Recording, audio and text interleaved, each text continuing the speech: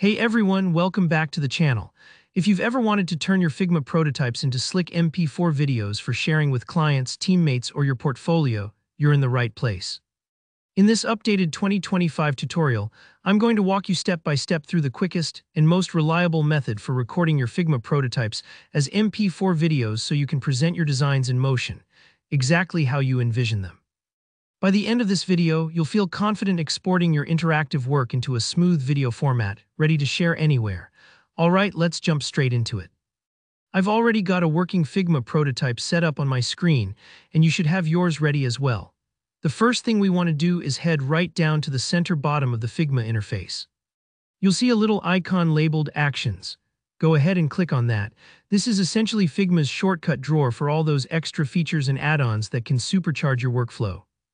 Next, in the search bar that pops up, type in Plugin Motion. What we're doing here is looking for the Motion plugin, which is an absolute lifesaver for anyone wanting to animate and export prototypes. If you don't see Motion installed yet, don't worry, just select it from the suggestions and add it to your plugins. Once you've got Motion ready to go, click Open. This will launch the Motion plugin panel right in your workspace.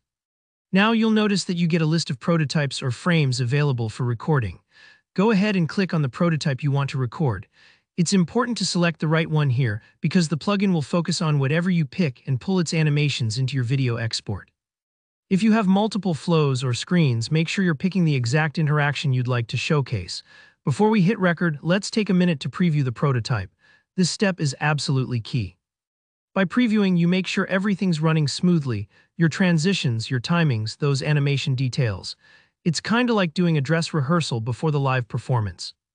Just click the play icon within the plugin or in Figma's native preview mode and walk through your prototype to see it in action. Once you're happy with how it looks, go ahead and make any final tweaks. For example, maybe you want to show off a rotation animation. Within the Motion plugin, you can add effects like rotation by selecting your element or frame, then choosing your desired animation setting. Give it a try, then play the animation to see how it feels. Don't be afraid to experiment a bit here. Sometimes, a small change in animation speed or direction can make your prototype pop that much more. And if things don't look perfect right away, that's totally normal. You can keep adjusting until you're satisfied. Now it's time for the main event, recording. In the Motion plugin panel, hit the record button. Here's an important tip. When you record, make sure you give your prototype a second to load before you click or interact, just to avoid capturing any unwanted lag or loading indicators in your final video. Once you start recording, play through your prototype just as you did in the preview, clicking, swiping, or dragging as your user would.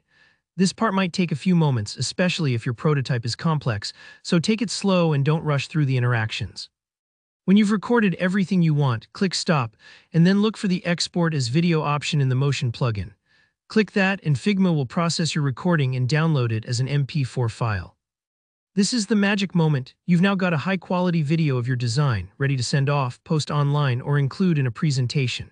If you run into any hiccups like audio syncing or visual glitches, try re-recording just that section.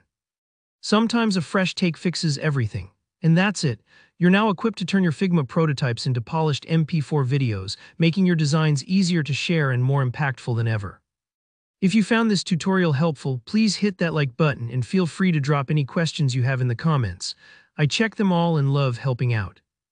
And if you want to see more up-to-date design and prototyping tutorials, don't forget to subscribe. Thanks for watching and I'll see you in the next one.